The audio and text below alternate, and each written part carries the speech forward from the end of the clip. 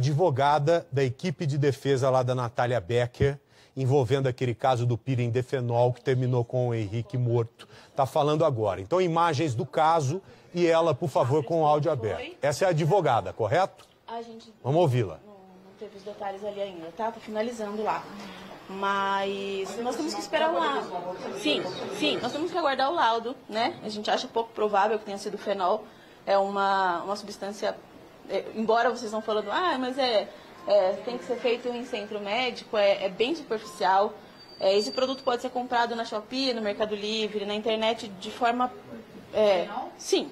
Se vocês buscarem na internet agora, vocês vão ver que pode ser comprado pela internet para passar em casa. É, maconha e cocaína pela internet, não tem delivery?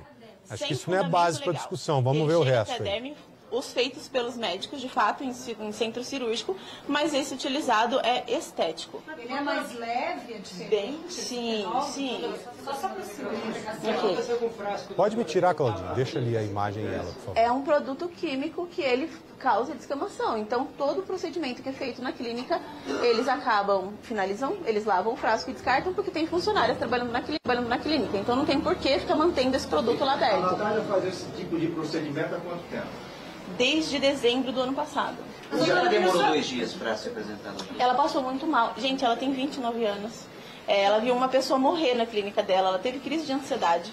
Então, a gente está respeitando o tempo dela, inclusive até porque não estava agendado ainda para ela vir dar depoimento. Estava Ela agendado para amanhã às 11 da Ela manhã. teria dito que o procedimento teria sido um sucesso. O que foi que deu de errado nesse procedimento? A gente não sabe porque não tem laudo ainda, né?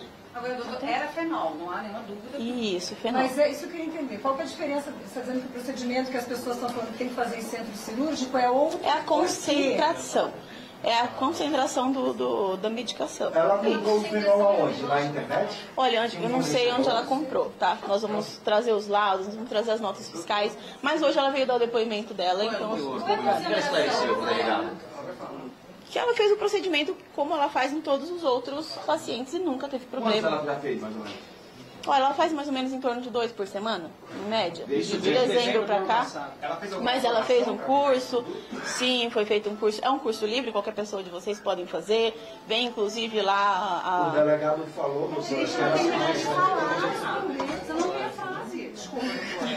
Eu esqueci até a pergunta, gente, tô nervosa, tem muita câmera aqui. Não, fica tranquilo. sabe? Qual é a formação para fazer esse... É um curso livre, é um curso livre, inclusive a farmacêutica que deu o curso é, traz no, no próprio curso, na apostila lá, as quantidades, como que pode ser usado, como tem que ser usado. Então, é um procedimento simples. Onde a gente tem que entender. curso? É um curso ah, online, acho que é Hotmart, o nome da plataforma. A Associação Nacional dos Esteticistas e Cosmetólogos diz que ela não tem formação de esteticista. Ela é esteticista? Ela, ela tem cursos livres. Esteticista Não. pode ser curso livre, não é, não, não é formação acadêmica. E não. são cursos online? São cursos online. Doutora, a, a clínica ela, ela era preparada para realizar esse tipo de procedimento, né? Por mais que seja um procedimento Ah. estético, é, a senhora ou durante o depoimento, é, ela relatou ali que, faltava algum tipo de suporte, ela estava Não tem que ter esse esse tipo de procedimento suporte. junto com uma assistente. Sim, com assistente, mas não tem que ter. Gente, é, é, é uma clínica de estética simples, está com a toda a documentação regulamentada, não tem nada de errado, então a gente precisa esperar o laudo para entender se o, o paciente tinha algum outro problema. Aí, só, só a concentração não ficou claro, só pra gente entender então. E seria um fenol, um fenol com uma concentração menor? Qual, qual é a concentração? Eu não sei. Eu não sei te falar concentração, essa parte técnica, eu sou advogada. não- eu não tenho essa questão de. Mas as pessoas faziam exames antes para ter uma precaução? Esteticista não faz, não pede exames, eles não têm é, como analisar os exames. Então, como que ele vai pedir? Ele não é médico para pedir exame. Então, Doutora, ontem o delegado falou... não. Doutora, ontem o delegado falou que isso é um ato médico, que a clínica não poderia fazer esse tipo de procedimento. Ela fazia isso de forma consciente, sabendo que ali não poderia ser feito. Ah, então, como eu falei para vocês, até então não tem nenhuma vedação legal para fazer. É, ah, não, não tem, gente. A gente pesquisou, não tem nenhuma vedação legal para isso. Tanto que em todas as reportagens que vocês viram, né, que estão passando na TV, é, mesmo o CRM se manifestando, a Sociedade de Dermatologia, eles não fundamentaram, olha, lei tal, regulamento tal proíbe esse tipo de, de, Doutora, por que, que ela demorou é, a se apresentar? A gente sabe que a polícia foi até dois endereços de hospitais que ela teria ido, que foram indicados para a polícia, não estava. Inclusive a polícia foi, ainda ontem, numa residência informada e ela e o marido não moravam lá nessa residência. O que, que aconteceu? Por que, que Onde ela foi atendida? essa... Ela passou mal, ela foi atendida no Hospital da Luz. Provavelmente o hospital não vai passar as informações para vocês por conta de, de, né, de, de LGPD, mas é, ela foi atendida nos hospitais e todos os comprovantes estão aqui no. Doutora, E por que, que essa informação foi omitida para a polícia? Porque a polícia Mas quem um que omitiu? É, Tem que ver com o um hospital. local. Por que, que o hospital não deu essa informação? Tinha um médico na clínica acompanhando esse tipo de procedimento? É uma clínica de estética, Só ela fazia o procedimento? só. Isso já comprovaram com a, com a polícia? Já passaram comprovante que ela teve lá no No hospital, sim. Tem comprovante. sabia do uso dessa substância, do fenol? Sim, ele que procurou a clínica. Doutora, quanto foi o procedimento? 4.500 reais. Tá. O hospital na Vila Mariana, o Hospital Luz Vila Mariana, é isso? Não, não sei te falar. Qual vai ser a estratégia da defesa? Nós vamos deixar isso um pouquinho mais pra frente, essa informação.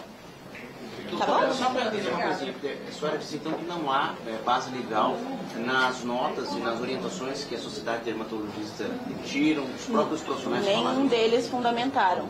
Tá? Falaram que não pode, mas com base em quê? Isso nós vamos verificar, tá?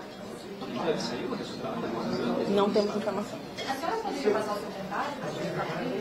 Pode Pode falar. Agora, eu passo depois fora das É, câmeras. não, vocês estão- É. Porque estão...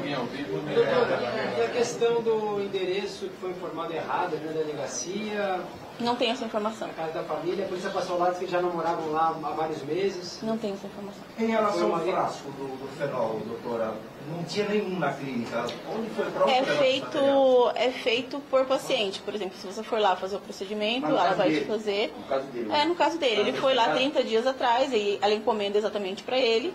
Quando ele vem fazer, é descartado o que sobra e Não, mas a dúvida é que a polícia não encontrou o frasco lá. Onde, foi descartado. Essa informação eu não tenho. Se eles não frasco encontraram. Sim, desse produto sim, porque ele vence muito rápido. É, doutora, só para confirmar, então, ela fez cursos livres na internet para poder Sim. fazer a aplicação do peeling de fenol. É isso, todos eles foram na internet. Cursos ou cursos? Cursos ou cursos?